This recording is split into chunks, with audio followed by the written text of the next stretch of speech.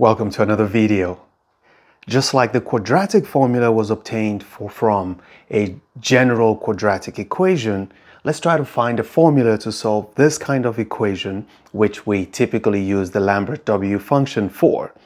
Um, the only problem with you using a formula for, even like in the quadratic formula cases, it just takes out the fun in the whole thing. However, um, you're going to get some other things because I usually would just stick to the principal um, branch of the Lambert W function. But because I'm using the formula now, I have to talk about the other branch that gives us real answers.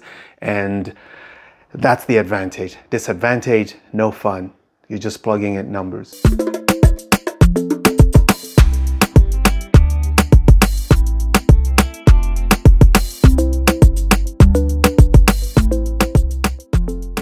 So our first mission is to rewrite this expression so that we can get something like this and then we can solve it this way. So we have to rewrite this to look somehow like this. Okay, that's the fun of it because then you can do all kinds of algebraic manipulations. So what I'm going to do first is isolate this. So I'm going to say a to the x will be equal to b minus x.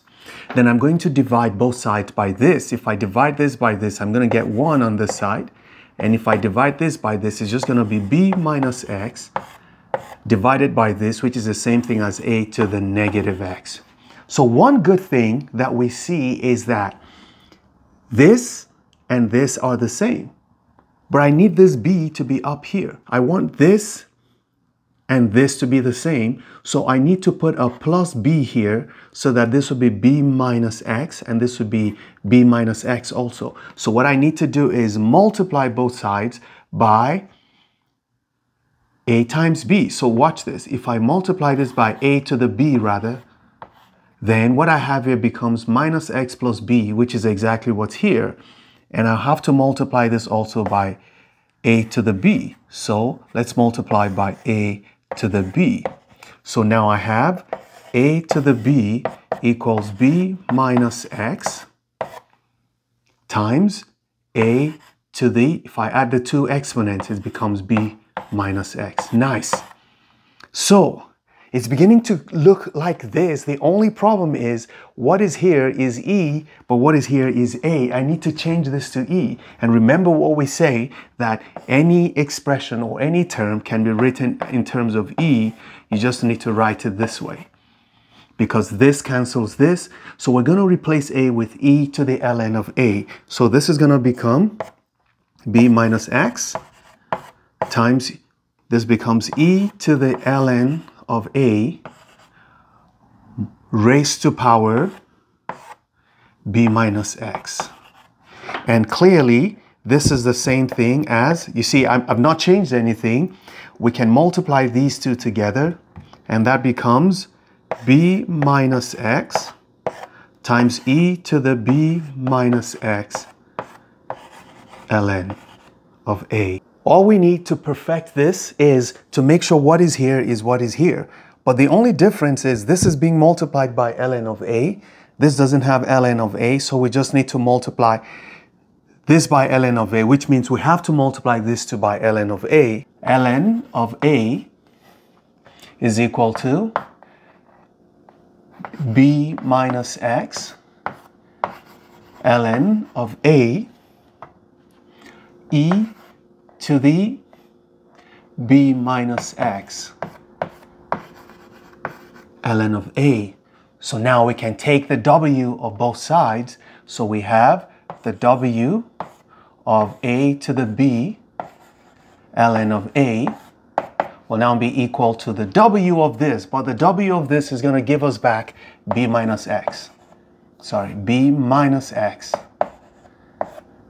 ln of a. So if I just want to isolate, this is the only term containing x, right?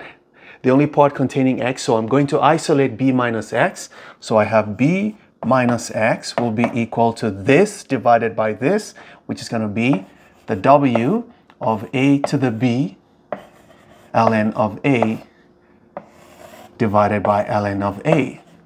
And if we want to get x, if we move x over here and bring this here, we end up with this formula that says x is equal to b minus the w of a raised to power b natural log of a divided by the natural log of a.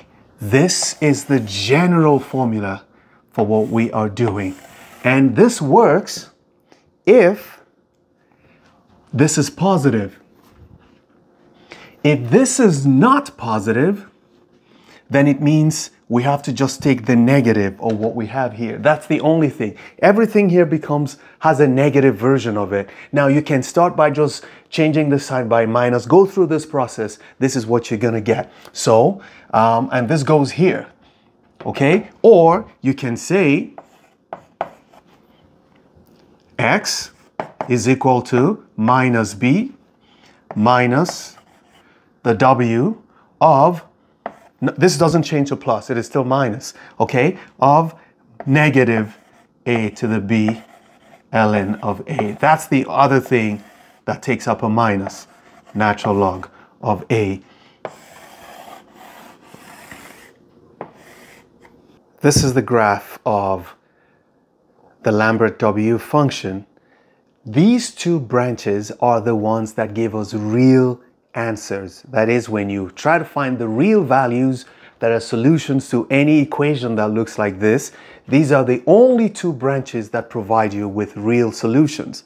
The others will give you solutions that are not real, but I want to focus on these two. Now, typically, if your answer is greater than zero, okay, if any value of x you're calculating is greater than zero, this guy will give you your real answer. Now, there are others that will give you other answers, but if you want the real answer, the zero branch will give you the real answer. But if the value x that you're trying to calculate is more likely stuck between negative 1 over e and 0, this tiny little gap here, if your answer is capable of coming from there, then you may get your answer from the 0 branch or from the negative 1 branch. Now this is the negative 1 branch. It gives you answers that are from negative 1 over e to 0. It never touches 0, okay? It never touches 0, but it keeps going and all the values are negative. As you can see, all the values are negative depending on what the function you're dealing with. So that's why we have this one because this one clearly will generate some negative value. Okay? Will generate some negative value for you. And let's keep it this way. Okay. Now, can you get negative values from this? Definitely, but it depends on what the values you plugged in are. But this is to guarantee that we cover every value from here all the way that way. Now, there are other branches. I'm not interested in that. If you're a mathematician, yeah, that's your business. Now, let's try and solve these equations this, this, or this. You know what I want to do? I want to solve, I actually want to solve this one because it's been um, of interest to me from for a long time now. And I'm going to use a formula to solve it. And like I said, anytime you get a question like this, just try to rewrite it in this way and then use the formula. So let's do number one. Let's look at this. We want it to look exactly like this, so we need a number here raised to power x. We can actually rewrite this to be equal to e squared raised to power x. You see that? Plus x equals e squared. So from here, we know what our a is. We know a is equal to e squared right there. And we know what our b is b equals e squared also. So what's the answer? Well, our answer x is equal to b, which is e squared, minus a raised to power b. This raised to power this, that's going to be e squared raised to power e squared. Let me write it this way. Ha ha ha. You see that? And multiplied by the natural log of e squared, all divided by the natural log of e squared. But we know that this is e squared minus w of This simplifies to 2 because this cancels this. We have 2. This simplifies to this 2 will multiply. That's e times 2 squared. So that's going to be the w of 2e to 2e squared. Ha ha ha ha ha ha. Over 2. We have x will be equal to 1 e squared minus, oh, let's write it this way. If I put these all together, you can write it as 1 half of 2e squared minus the w of 2e to the 2e squared.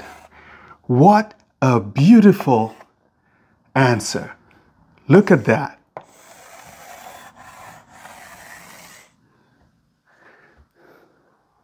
That's a lot of ease. Let's do number three. I intentionally skipped number two because I want you to do it by yourself if you're interested. By the way, you should get two answers for this. And clearly, one of the answers is, well, you can just look at it clearly and you see what one of the answers is, but there are two answers. When you zoom in, you're to see that there's a second answer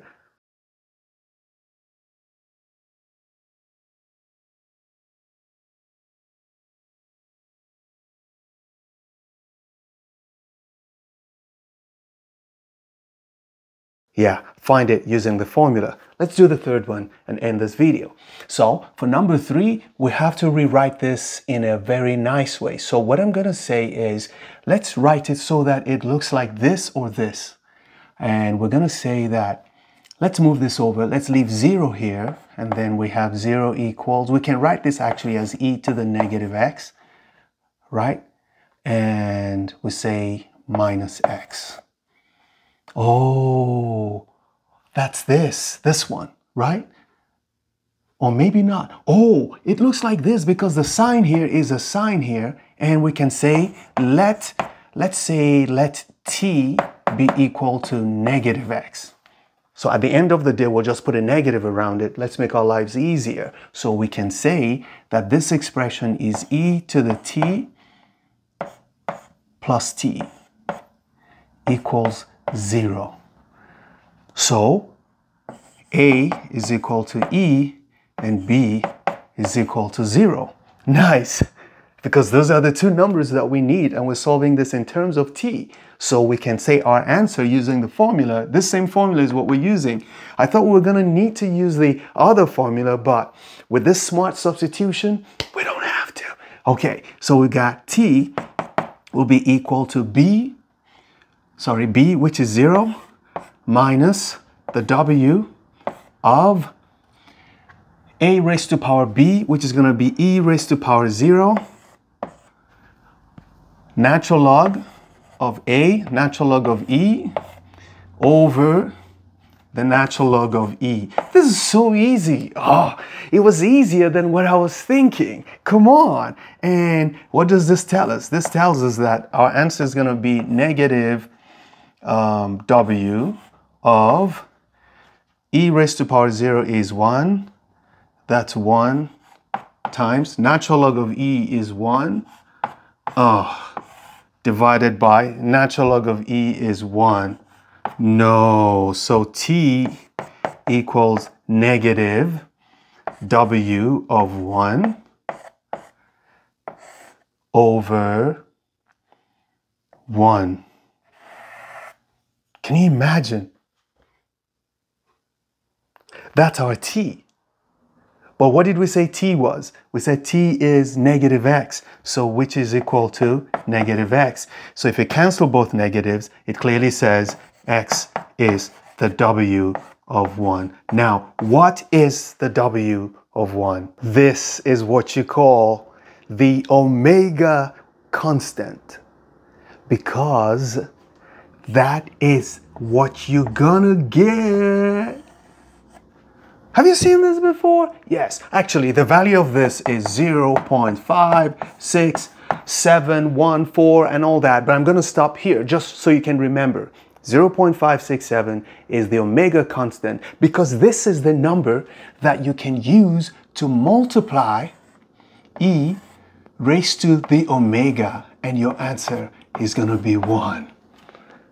Isn't that beautiful? Remember to do exercise number two and just tell me what the other number is apart from the very obvious one, which I'm not gonna say, which I just said. See you in the next video. Never stop learning. Those who stop learning, stop living. Bye-bye.